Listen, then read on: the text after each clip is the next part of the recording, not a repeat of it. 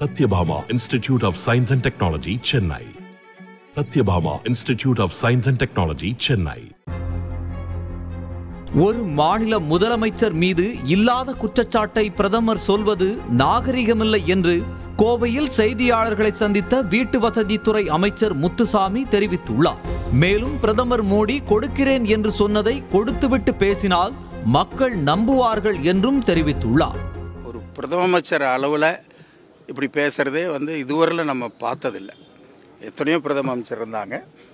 ஒரு மாநில கட்சியை அல்லது ஒரு முதலமைச்சரை ஒரு கட்சியுடைய தலைவரை இப்படி நேரடியாக வந்து ஒரு இல்லாத குற்றச்சாட்டுகளை ஏதாவது தப்பு இருந்து சொன்னால் பரவாயில்ல இல்லாத குற்றச்சாட்டுகளை சொல்லுவது என்பது அவ்வளவு ஒரு நாகரிகமானது அல்ல எனவே அவர் பிரதம அமைச்சராக இருக்கிற காரணத்தால் இதற்கு மேல் நாங்கள் சொல்வதும் கூட நாகரிகம் அல்ல. இல்லை அவர் முதல்ல கொடுக்குறேன்னு சொல்லிட்டு அதை கொடுத்தாருனாக்க ஜனங்க நம்புவாங்க. அது இன்னும் கொடுக்கல. திமுக கொள்ளையடித்த பணத்தை மீட்போம் என்று கூறிய பிரதமர் மோடிக்கு புதுக்கோட்டையில் சட்டத்துறை அமைச்சர் ரகுபதி பதிலளித்துள்ளார். நாங்கள் எந்த பணத்தையும் கொள்ளையடிக்கவில்லை என்று கூறிய அமைச்சர் ரகுபதி அவர் எங்கு வேண்டுமானாலும் வந்து சோதனை செய்து கொள்ளட்டும் என்றும் தெரிவித்துள்ளார். மேலும் பிரதமர் மோடி பத்து பணக்காரர்களிடம் கொடுத்த பணத்தை கொண்டு வந்தால் இந்தியர்கள் அனைவரையும் கோடீஸ்வரர்களாக மாற்றிவிடலாம் என்றும் தெரிவித்துள்ளார். நாங்கள் எந்த பணத்தையும் கொள்ளையடிக்கல எந்த பணமும் எங்கள்கிட்ட கிடையாது. எங்களை முடிஞ்சால் என்ன வேணாலும் சோதனை போட்டு பார்த்து கொள்ளட்டும். எங்களுக்கு எந்த எங்களுக்கு மடியில் கனம் கிடையாது வழியில் பயம் கிடையாது. முதல்ல அவர் இந்த பத்து பணக்காரங்கள்ட்ட கொடுத்துருக்காரு பாருங்க பணம். அந்த பணத்தை கொண்டு வந்து இந்தியாவில் இருக்க எல்லா மக்களுக்கும் கொடுத்தா இந்தியாவில் இருக்க எல்லாரும் கோடீஸ்வரன் ஆயிடுவான். பிரதமர் மோடி தமிழ்நாட்டுக்கு வந்து தொடர்ந்து திமுகவை மிரட்ட வேண்டும் என்று சென்னையில் பேசிய அமைச்சர் சேகர் பாபு அடிக்க அடிக்க பந்து எப்படி எழுமோ அதுபோல பிரதமர் திமுகவை மிரட்ட மிரட்ட களத்தில் இதைவிட வேகமாக திமுக செயல்படும் என்றும் தெரிவித்துள்ளார். இந்த ஆண்டு பல முறை தமிழ்நாட்டுக்கு வந்த மோடி வெறும் தண்ணீரில் வடை சுடுகின்றவர் என்றும் அமைச்சர் சேகர் பாபு விமர்சித்துள்ளார். தொடர்ந்து நீங்கள் தமிழகத்திற்கு வாருங்கள். திராவிட முன்னேற்ற கழகத்தின் மீது பல்வேறு அவதூறுகளை அள்ளி வீசுங்கள். தொடர்ந்து பயமுறுத்துங்கள். தொடர்ந்து மிரட்டி பாருங்கள். எப்படி அடிக்க அடிக்க பந்து எழும்புமோ?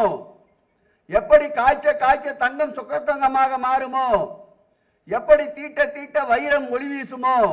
அதுபோல் நீங்கள் மிரட்ட மிரட்ட திராவிட முன்னேற்ற கழகம் இன்னும் வேகமாக களத்திலே நிற்கும் என்பதை இந்த நேரத்தில் தெரிவித்துக் கொண்டு இன்றைக்கு எண்ணெயில் வடை சுட்டு பார்த்திருப்போம்.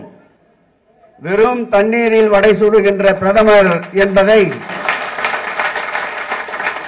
இன்றைக்கு நாட்டு மக்கள் நன்றாக புரிந்து வைத்திருக்கின்றார்கள்.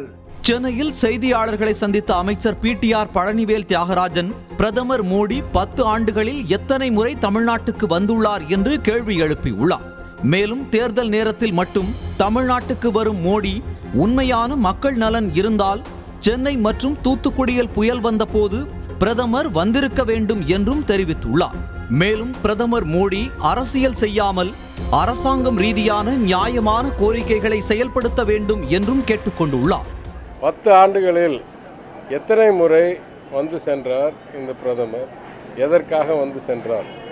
அரசியல் செய்வதற்காக தொடர்ந்து வர்றாரே தவிர தேர்தல் நெருங்கும் நேரத்தில் பல முறை வர்றாரே தவிர உண்மையான மக்கள் நலன் அக்கறை இருந்தவர் புயல் வந்தபோது சென்னை பகுதிக்கோ இல்லை தூத்துக்குடி பகுதிக்கோ வந்து மக்களை சந்திக்கவில்லை புயலுடைய பாதிப்பை நேரில் கண்காணிக்கவில்லை.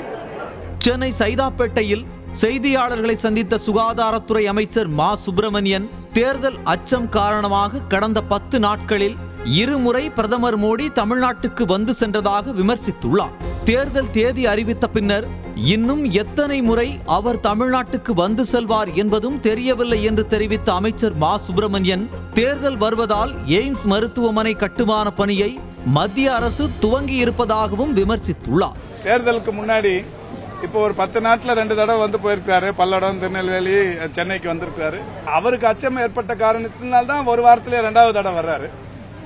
அவருக்கு ஏற்பட்டிருக்கிற அச்சத்தின் விளைவாக இன்னும் ரெண்டு வாரம் இந்த ரெண்டு மாசத்துக்குள்ள தேர்தல் முடியறதுக்குள்ள எத்தனை தடவை சென்னைக்கு வருவாரோ தெரியாது.